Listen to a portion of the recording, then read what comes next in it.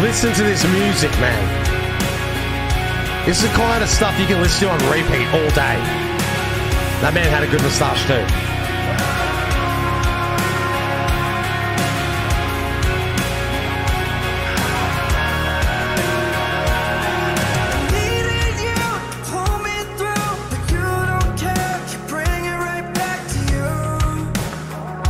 It's not even fair for anyone else singing, ever.